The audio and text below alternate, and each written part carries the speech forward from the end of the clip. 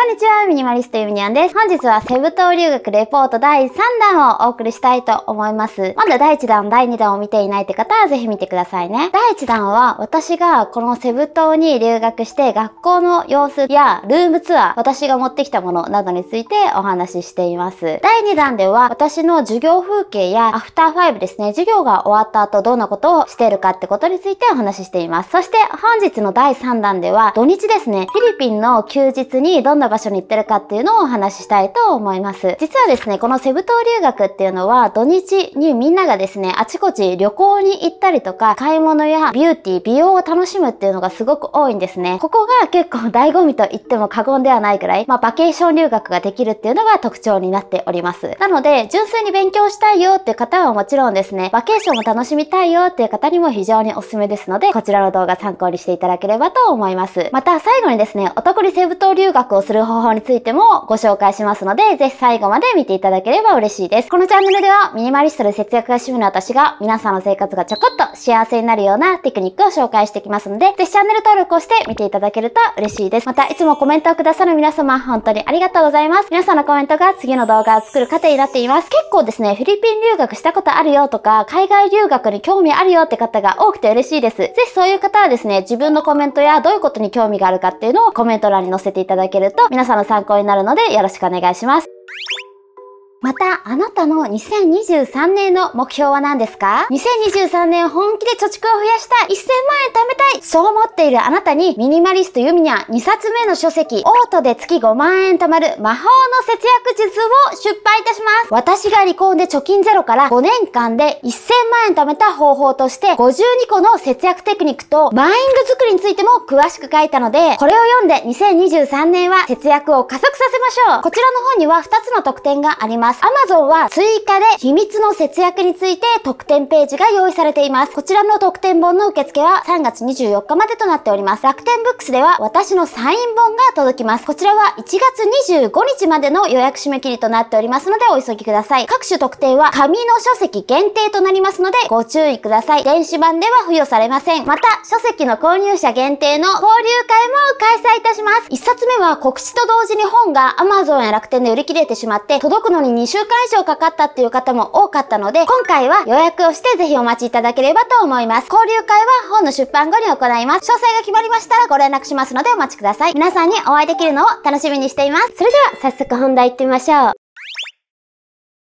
11月11日の夜はフードフェスティバルでした。これは学校の行事だったんですけど、食べ物がたくさん出るお祭りがあるよということで、こういったね、飾り付けをされたり、舞台も用意されていました。この日は学校が早く終わって、先生も歌を歌って楽しんだりとか、このね、先生はすごいセクシーな先生で有名なんですけど、生徒とふざけたりとか、おしゃれして楽しんでいました。で、実際に出された料理がこのような感じでですね、まあ、海鮮もあれば、揚げ物とかもあればっていう感じで、日本食の刺身とかもあったし、韓国料理やフィリピン料理、いろんな国の料理がありました。この肉のデカさやばいですよね。あとはやはりフィリピン南国なのでフルーツが美味しいんですよね。この日は珍しいフルーツから普段のフルーツまでもうたくさんのフルーツが出てめちゃめちゃ美味しかったです。あとはお菓子もね、出ていたりとか、こういったケーキとかもたくさん出ていて、もう食べ放題だったんで、もうたくさん食べれてめちゃめちゃ幸せでした。If you're hungry, okay, are you all hungry? Me too. I'm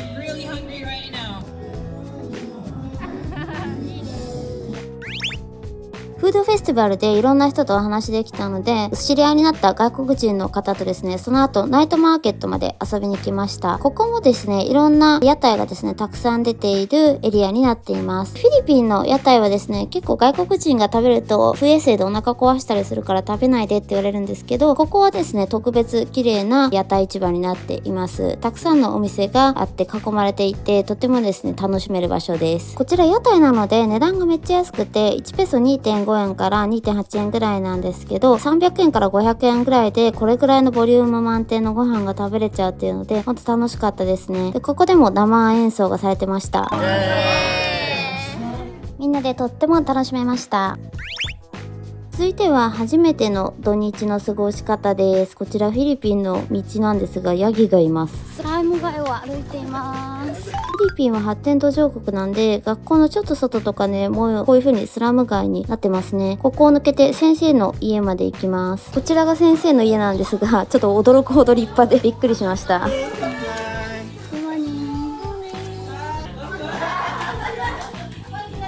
今、ウェルカムって言ってた人が先生のジェラです。まだ27歳だそうで、こちらで兄弟とか親御さんと一緒に暮らしているそうです。How long you been there in? Ah, three months. Three months? Three months. After you go back to Japan? Yeah, go back Japan. And I'm going to trip around the world. Around the world. Mm, really? Yeah. What's your name? Alia? Lia? Mm, so cute. 先生の家族と外国人の生徒日本人も含めて20人ぐらいでアイランドホッピングに行きます。アイランドホッピングに島に来てます。ここが島です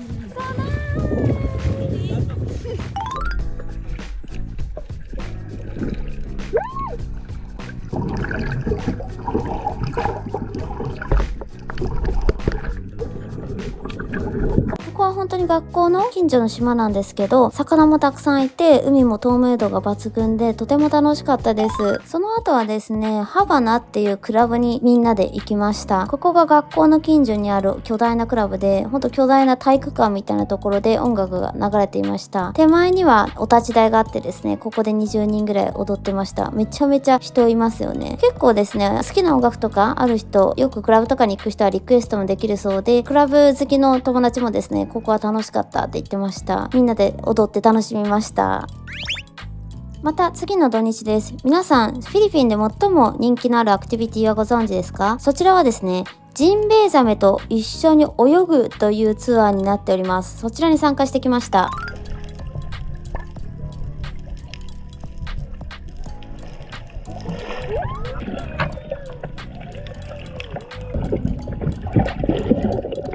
ジンベエザメと泳ぐツアーは思っていたよりもジンベエザメが大きくて数もたくさんいてすごく迫力満点で大満足でした。その後はスミロン島という透明度が大変高くて美しい島に行ってきました。見てくださいこの透明度です。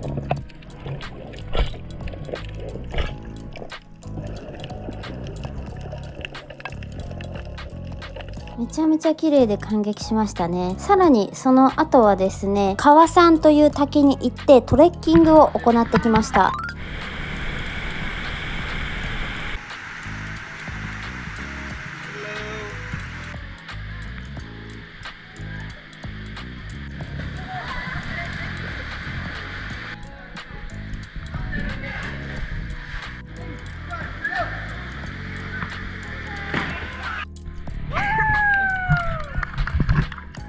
感じでとにかくですね、川に飛び込みまくりましたね。ダイブしました。私も5メートルの高さから降りました。で、結構ですね、この日は雨が降ってて寒かったんで、実はこの後ね、風邪ひいちゃったんですよね。というのもこれね、5時間ぐらい中で川のトレッキングしてたので、結構大変なツアーでした。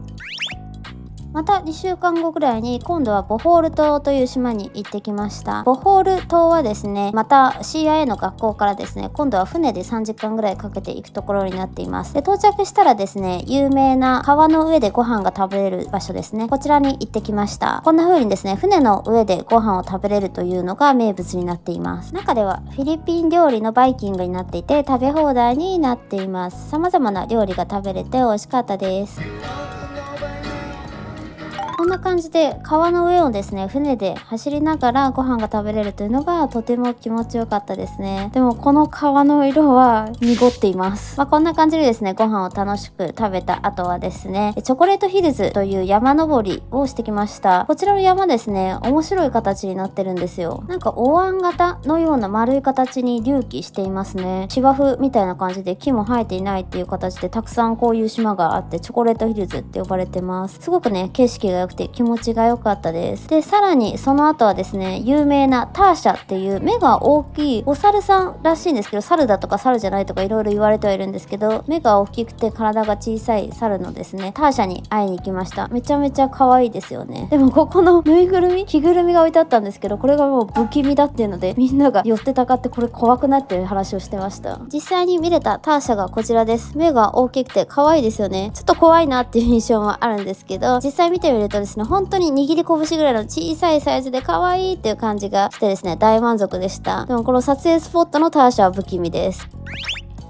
で、その後はですねエ、ボホール島で一番古い教会に行ってきました。かなり大きいですね。教会の外ではアイスも売ってました。でもこのアイスを売ってるのは私たちの旅行メンバーでサウジアラビアの友達ですね。アイス売りを手伝ってくれていました。で、中はですね、こんな感じですごい綺麗ですよね。天井に絵がいっぱいあったり、ステンドグラスがあって大変綺麗でした。で、私は保育園の頃からですね、プロテスタントとかカトリックの学校に結構通っていたので、この教会とか見ると綺麗だなっていうふうに思います。自分はクリスチャンではないんですけど、この日は日曜礼拝だったので、たくさんの方がですね、訪れていました。ボホール島は遠いので1泊2日で行ったので、その後はですね、ホテルに到着してみんなで水遊びをしました。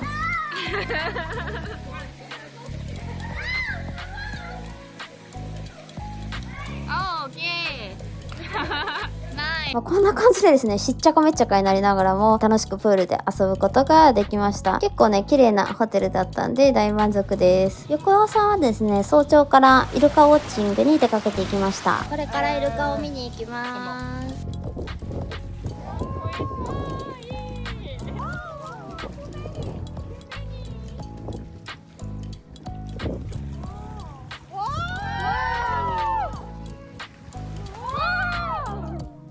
感じでたくさんのイルカに出会えたのですごく大満足です。その後はですね、そのままシュノーケリングを楽しんだり、あとはダイビングスポットに行ってダイビングも楽しんできました。私はダイビングの資格を持ってるのでうまく泳ぐことができました。